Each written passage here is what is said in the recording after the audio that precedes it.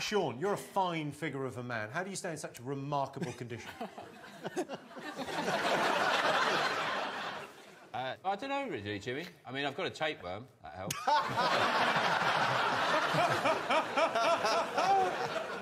that, uh, that certainly helps. Well, I call him Charlie. So go on, Charlie, that's for you. Look. That. you know that uh, 12% of the people in this country have got tapeworm, Really? which actually makes them more popular than dogs. Is that As a pet, yeah. How do you get a tapeworm? Do you eat a worm and it stays pork, in you? don't you? Yeah. You get it off pork. Yeah. Yeah. Always pork. Yeah, always pork. you get it off a, off pork or and not off anything else.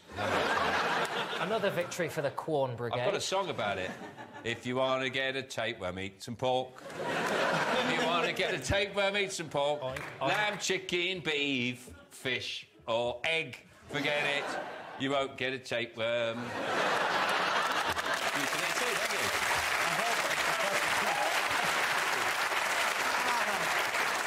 Could someone upstairs Google if you get tapeworms from pigs? How do pigs get them? They get them from other pigs. They eat pork. You can only get them. How many times do I have to explain it? You can only get a tapeworm.